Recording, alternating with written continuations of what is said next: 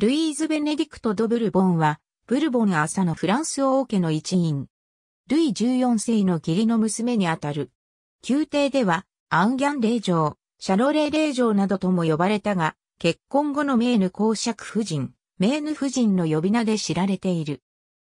コンデ公、アンリ三世ジュールとその妻アンヌド・バビエールの間の第八子として、パリのオテル・ド・コンデに生まれた。洗礼名のベネディクトは、母方のおばである、ブラウンシュバイク・カレンベルク公爵夫人、ベネディクト・アンリエットにちなむ。精神錯乱状態の父が母に暴力を振るうなど、あまり幸福とは言えない環境で育った。当初、宮廷では、アンギャン霊女王と呼ばれたが、父が1685年に、シャロレー伯に除せられたことを機に、シャロレー霊女と呼ばれることになった。ルイーズ・ベネディクトは、再起間髪で、非常に短気な性格だった。彼女は、長子のコンティ公、フランソワ・ルイヒ、マリー・テレーズと同じく大変に小柄で、しかも、右腕が不自由だったが、見た目には、非常に気を使っており、コンデクゲの娘たちの中では、魅力的だと言われていた。しかし母の10枚にあたるオルレアン公フィリップ一世、夫人エリザベート・シャルロットは、ルイーズ・ベネディクトを、チビの引きガエルと呼んでけなしており、以下のように描写している。メーヌ夫人は10歳の子供より背が低く、無様な体格をしている。彼女を我慢して見ていられるのは、口を閉じている時だけだ。一旦口を開けば、その大きく開いた高校から、並びの悪い歯が見えてしまう。彼女は、ずんぐりしているわけではなく、おしろいも、丹念に塗り、美しい目、白い肌、明るい髪の持ち主である。これで性格が良ければまだ付き合えるが、昭和なので我慢がならない。ルイーズ・ベネディクトにはごく幼い頃、ルイ14世とルイーズ・ド・ラバリエールの間の息子、ベルマンド・アハク・ルイとの縁談があったが、ベルマンド・アハクは1682年に同性愛スキャンダルにより、宮中を追われ、翌1683年に創生した。その後、彼女にはルイ14世とモンテスパン公爵夫人の長男、メーヌ公、ルイ・オーギュストとの縁談が持ち込まれた。すでに1685年、ルイーズ・ベ、メーヌ公爵夫人、フランスワ・ド・トロワがルイーズ・ベネディクトとメーヌ公との婚礼は1692年5月19日にベルサイユ宮殿付属礼拝堂で執り行われた。メーヌ公は足が不自由だったため、右腕の不自由な花嫁と足の悪い花婿を見た。宮廷人たちの一部は、片腕の妻とびっ子の夫とは、なんと美しいカップルだろうという残酷な冗談を囁いた。夫妻の結婚生活は不幸だった。夫妻は互いを嫌い、ルイーズ・ベネディクトは、夫の昇進さと野心の無差を軽蔑し、メーヌ公は、妻の短気な性格や宮廷で夫に恥をかかせようとする企みに辟易していた。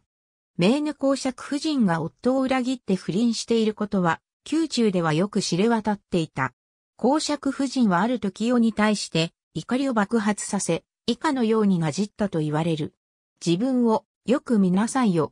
ビッコの私生児の分際で私を従わせるつもり？私は生まれに少しもやましいところのない王家の純潔の姫君です。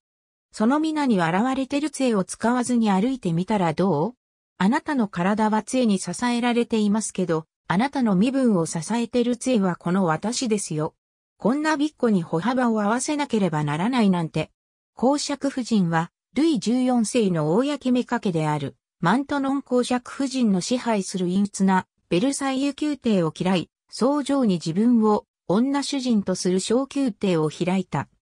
この城は、ジャンバティスト・コルベールの屋敷だったが、メーヌ公が1700年に90万リーブルで相続人から買い取り、公爵夫人はこの城の改築、改装に総計80万リーブルの拒否を費やし、同年12月に総上へ移り住んだ。メーヌ公爵夫人は自分の宮廷では女王蜂と呼ばれるようになり、自らもこの呼び名を気に入って、1703年には自尊心を満足させるために自らを総長とする、ミツバチ騎士団を創設し、39人を騎士に除任した。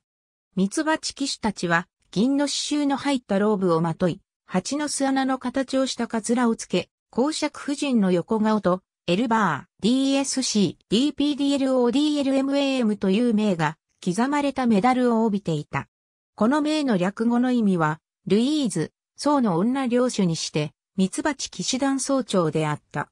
宋の小宮廷で、公爵夫人は東大を代表する文芸サロンの女主人として華やいだ。青年時代のボルテール、モンテスキュー男爵、ベルニス騎教、ケリュ伯爵、シャルル・ジャン・フランソワ・エノール、ジャンバティスト・ルソーなどが彼女の下でサークルを形成した。マントノン夫人は自分の養育したメーヌ公を溺愛しており、ルイ14世もメーヌ公爵にプランス・デュ・サンの身分を授けて、彼にフランス王位継承資格を認めた。